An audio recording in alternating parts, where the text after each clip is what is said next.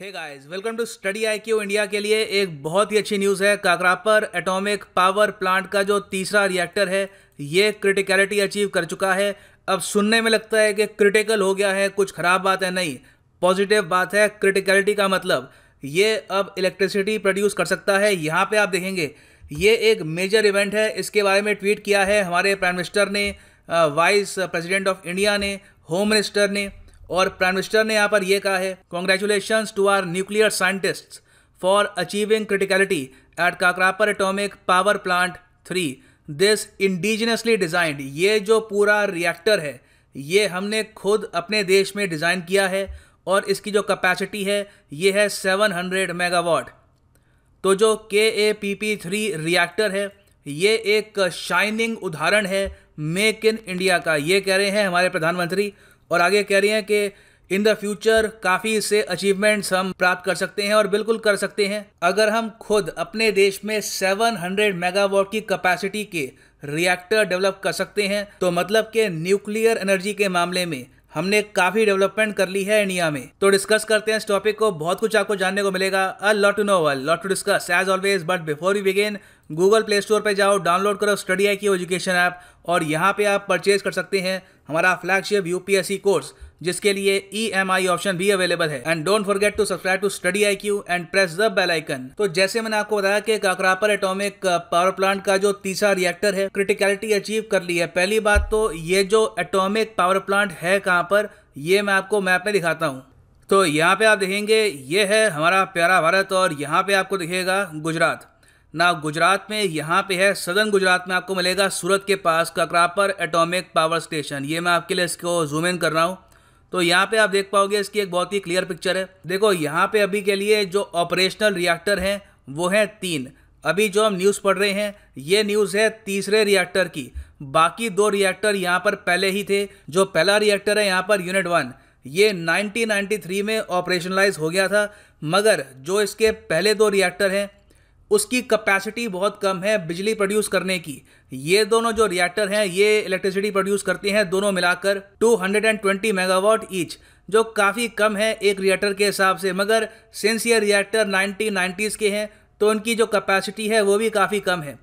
अब जो नया तीसरा यहाँ पर रिएक्टर बना है, इसकी कैपेसिटी बताई जा रही है कि 700 मेगावाट है।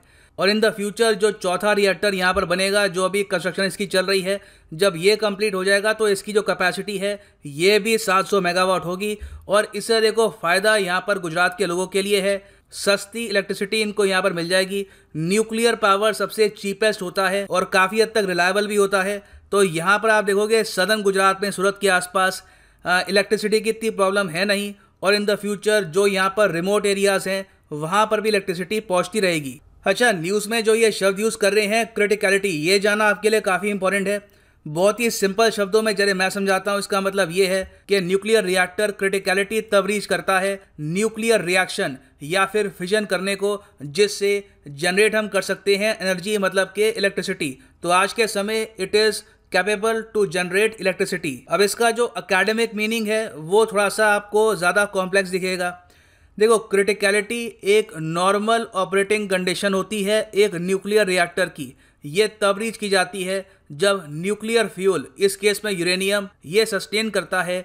एक फिजन चेन रिएक्शन आपको पता होगा कि न्यूक्लियर टेक्नोलॉजी में दो टाइप के रिएक्शन हम यूज़ करते हैं फ्यूजन और फिजन फ्यूजन के पावर प्लांट आपको ना के बराबर मिलेंगे, उसको हम प्रॉपरली अभी परफेक्ट कर नहीं पाए हैं। दुनिया भर में fission based nuclear power plant आपको मिलेंगे। तो during criticality each fission releases a sufficient number of neutrons to sustain an ongoing series of nuclear reaction और फिर हम कहते हैं कि ये जो रिएक्टर है, ये क्रिटिकलिटी में आ चुका है। नाउ इस डेवलपमेंट को अगर हम देखें एक ब्रॉडर परस्पेक्टिव से तो इंडिया के लिए काफ़ी अच्छी न्यूज़ है। पहली बात तो ये है कि इंडिया के जो लॉन्ग टर्म प्लान्स हैं अंडर पेरिस क्लाइमेट एग्रीमेंट उसमें हमने ये कहा है कि 2030 तक जो 40 परसेंट हमारी इलेक्ट्रिसिटी है, ये जनरेट होगी फ्रॉम नॉन फॉसिल सोर्सेज मतलब कि हम कोल पेट्रोलियम इस सब का इस्तेमाल नहीं करेंगे 2030 तक 40 परसेंट अपनी इलेक्ट्रिसिटी प्रोड्यूस करने के लिए। तो वहाँ पे एक बहुत ही अच्छा सब्सिट्यूट है न्यूक्लियर एनर्जी और देखो इस पर्टिकुलर रिएक्टर में जो हमने टेक्नोलॉजी यूज़ करी है, इसका नाम है I P H W R अब वैसे देखो पी एच डब्ल्यू आर एक काफ़ी पुरानी टेक्निक है 1940 से चल रही है और इसका नाम है प्रेशराइज्ड हैवी वाटर रिएक्टर यहाँ पे हम क्या करते हैं कि जो हैवी वाटर है, इसको यूज़ करते हैं एज ए कूलेंट तो इंडिया ने क्या किया है कि इस टेक्नोलॉजी में कुछ चेंजेस किए हैं, अपने हिसाब से मॉडिफिकेशंस ऐड करी हैं। तो हमने पी एच डब्ल्यू आर का बना दिया I P H W R अब ये अपने आप में आज के समय एक यूनिक टेक्नोलॉजी है, जिससे काफ़ी पुराने मेथड से आप ज़्यादा इलेक्ट्रिसिटी प्रोड्यूस कर सकते हैं। और जो ये टेक्निक है, इसको देखकर बहुत सारे अफ्रीकन कंट्रीज़ भी इंटरेस्टेड हैं। वो ये मानते हैं कि सिंस यूएस फ्रांस और इवन रशिया अफ्रीका में न्यूक्लियर रिएक्टर कंस्ट्रक्ट करने के लिए बिलियंस चार्ज करेंगे। इन द फ्यूचर अगर इंडिया इस टेक्नोलॉजी को प्रॉपरली मास्टर कर लेता है, यहाँ पर जो सेफ्टी फीचर्स हैं, इनको और इम्प्रूव कर लेता है तो ये बिल्कुल चाहेंगे। कि अफ्रीका में भी इसी टेक्निक से प्रेशराइज्ड हैवी वाटर के रिएक्टर ये बना दे, जो 700 मेगावाट की इलेक्ट्रिसिटी प्रोड्यूस कर पाए विच इज़ अ लॉट अब मैं आपको ये बता दूँ कि जो कुदानकुलम में रशिया बना रहा है, एक न्यूक्लियर रिएक्टर तमिलनाडु में, उसकी कैपेसिटी काफ़ी ज़्यादा है। वहाँ पे आप अगर देखोगे तो एक यूनिट हज़ार मेगावाट तक प्रोड्यूस कर लेता है इलेक्ट्रिसिटी मगर उसके साथ साथ प्रॉब्लम भी ये है कि कॉस्ट ज़्यादा होती है। फिर रशिया के साथ रिलेशंस बनाने में यूएस का भी इशू रहता है। तो इंडिया, अफ्रीका में एक जो बहुत बड़ी मार्केट है, इन द फ्यूचर कैप्चर कर सकता है, क्योंकि वहाँ पे सबसे बड़ा इशू ये है कि अफ्रीका का जो लॉन्ग टर्म प्लान था कि ये लोग हाइड्रो इलेक्ट्रिसिटी पर फोकस करेंगे और जो इनकी नदियाँ हैं, उसके फ्लो से ये बिजली प्रोड्यूस करेंगे, ये प्रॉपरली आज के समय इम्प्लीमेंट हो नहीं पा रहा, क्योंकि because of climate change global warming इनकी बहुत सारी नदियाँ, बहुत सारी लेक्स सूख चुकी है तो बहुत सारी अफ्रीकन कंट्रीज़ के लिए हाइड्रो पावर ऑप्शन है नहीं तो वो इस वक्त देख रही है इंडिया को कि इन द फ्यूचर इंडिया अगर इस टेक्नोलॉजी को और ज़्यादा मास्टर करता है तो India can become an exporter of nuclear technology. अब देखो जो पी एच डब्ल्यू आर है, इसके बारे में कुछ जान लो, इसके इतिहास के बारे में जान लो। जैसे मैंने आपको बताया, यहाँ पर हैवी वाटर का यूज़ किया जाता है।